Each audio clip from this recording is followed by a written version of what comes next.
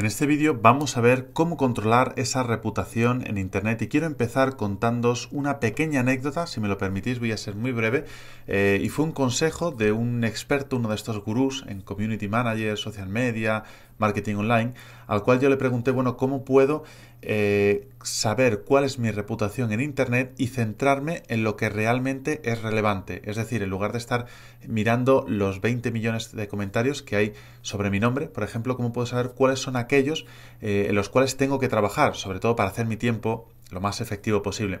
Entonces la respuesta fue muy clara y, bueno, si, si, lo ponemos en práctica vamos a ver que realmente es la forma más efectiva y es comportémonos como un usuario. Es decir, si yo quiero saber qué están viendo los usuarios sobre mí, en lugar de posicionarme como la persona que está detrás de mi empresa, como la persona encargada del marketing online, voy a suponer que soy un usuario.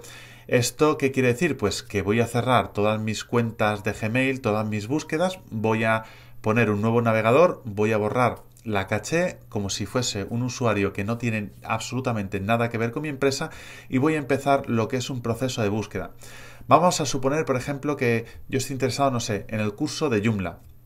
Bien, entonces yo vengo a esta página mediante un, anuncio en internet, termino en Pixel Pro y digo, bien, estos venden cursos de Joomla. Entonces lo más normal a partir de ahora sería contrastar un poco el precio y los servicios que me ofrece Pixel Pro con los de la competencia. Fijaos, sí, yo voy a buscar aquí Pixel Pro. Bien, entonces veo que lo primero que aparece es la página de la empresa. Hasta aquí vamos bien. Tengo información sobre los distintos cursos y demás. Veo que están en Facebook, que tienen algo eh, por aquí y allá. Están también en PC actual, lo cual eh, me da una cierta confianza, ya que es una revista a nivel nacional bastante seria. Entonces, una vez que tengo esto, pongo Pixel Pro opiniones o experiencias. Bien, y aquí lo tenemos, experiencias y opiniones de Pixel Pro. Es muy importante que yo aparezca en las primeras páginas. Bien, no voy a dejar que sea otro el que hable por mí, sino en primera instancia siempre voy a ser yo el que hable de mí. Entonces, fijaos, aquí tenemos la página con algunos testimonios, la opinión de eh, algunos alumnos, todos son alumnos reales, bien, no, hay absolutamente eh, nada ficticio y eso es muy importante. Bien, entonces esta es la forma en la cual se comporta el usuario. Eh, sirve para la empresa y sirve para una persona individual. Fijaos, aquí tenía una búsqueda de mi nombre, David Piqué, y bueno, hay muchos eh, David Piqué, entre otros eh, vamos a ver algún que otro jugador de fútbol por ahí, pero es muy importante que yo encuentre en algún momento una opinión sobre David Piqué y que ésta sea positiva. Y la voy a encontrar aquí, en mi página. Fijaos. Hay muchos cursos y tutoriales sobre Joomla en la red. El curso de Pixel Pro, tutorizado por David Piqué, reúne las condiciones ideales para iniciarse.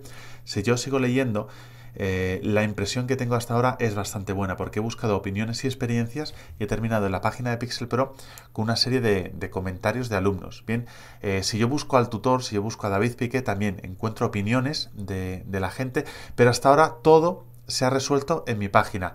Entonces, un buen punto para empezar a trabajar sería propagar esas opiniones por la red. Es decir, que la información no solo provenga de mis páginas y de páginas sobre las cuales yo controlo información, sino que todos esos foros en los cuales hay opiniones sobre los cursos eh, de Joomla, de WordPress, de PrestaShop, de lo que queramos, en algún momento tenemos que aparecer y tenemos que aparecer de la misma forma que lo hacemos en nuestra web, con una coherencia, con información real.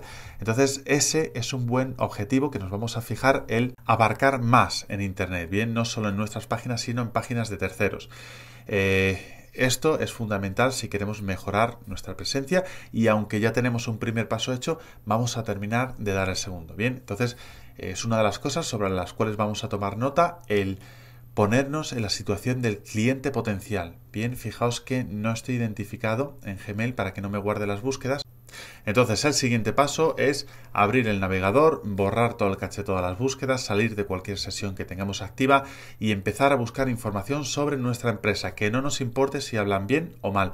Eh, vamos a tratar con información real. Entonces si nos encontramos con algún mal comentario, no importa, lo vamos eh, en, un principio a dejar de lado. En Internet es muy importante la educación, bien, es más importante la forma en la que hablamos en un foro, en un blog, que la forma en la cual nos dirigimos incluso al cliente por teléfono.